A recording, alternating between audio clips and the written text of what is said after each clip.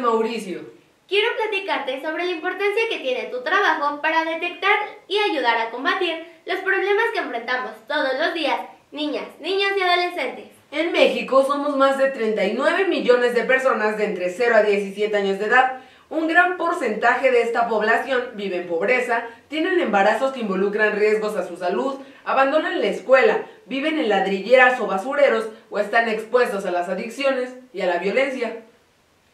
Esto sucede todos los días en los hogares o espacios que visitas para dar apoyos de los programas federales o en las comunidades donde prestas tus servicios. Por eso, el gobierno de la República está impulsando una ruta de acción en la cual la persona más importante para operarla eres tú, al detectar los casos, informar a tus superiores y autoridades competentes para que a través de las delegaciones federales se tomen decisiones para cambiar la realidad de niñas, niños y adolescentes.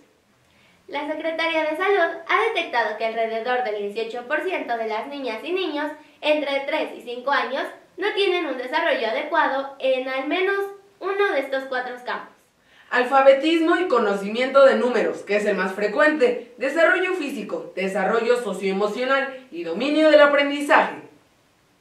Tú puedes participar para promover un mejor desarrollo en la primera infancia a través de tu colaboración en las siguientes acciones. 1. Capacitándote para la aplicación de la Cédula de Desarrollo Infantil, CEDI.